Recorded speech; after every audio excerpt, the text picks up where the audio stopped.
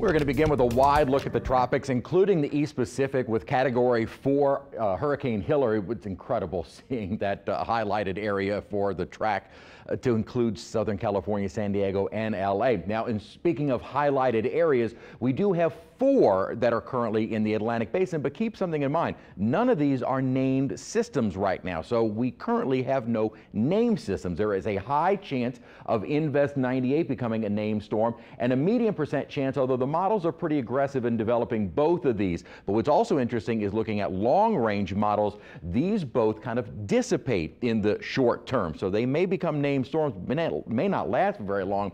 It'll be this area, not uh, currently an invest, that could bring in some flooding rains across parts of the islands into the Caribbean, something for those folks to watch. we're paying a little bit closer attention to is our tropical wave, not yet an invest, but certainly looks like it's trying to get a little, maybe a little bit better organized, at least in terms of more thunderstorm development. Not that it's organized yet in terms of rotating or kind of coming around some sort of center. So that has not yet happened, but certainly you see the complex of storms over the Turks and Caicos and now Bahamas moving toward Florida. This still is a tropical wave, an area of rainfall, which is currently in a fairly hostile environment. We have this upper trough to its south, most of the thunderstorm activity kind of focused over the islands, but we also have some decent little wind shear out ahead of it. Now this is all expected to relax a bit and some development is possible once it reaches the Gulf of Mexico.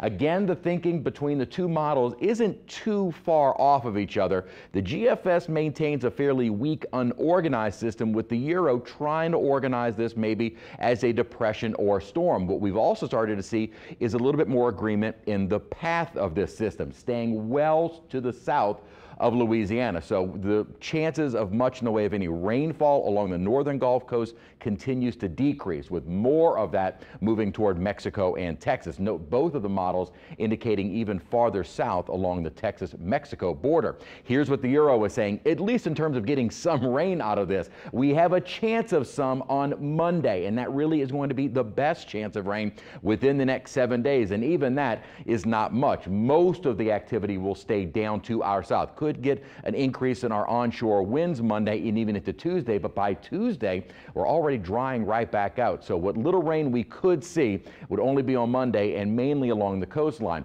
What could help the storm organize a bit is the lack of wind shear. It will be in a fairly low sheared environment, and in fact, the upper energy might allow for some organization and strengthening. But it is also going to be competing with that dry Saharan dust and fairly dry air over the Gulf of Mexico, which we've seen time and time again really kill these systems off. So it looks like there's more going against real organization with this system than for organizing and becoming a stronger storm. So that really doesn't look to be the case. And rainfall totals, all of the heavy rains will be well down to our south with the rainfall totals for southeast Louisiana continuing to drop. We started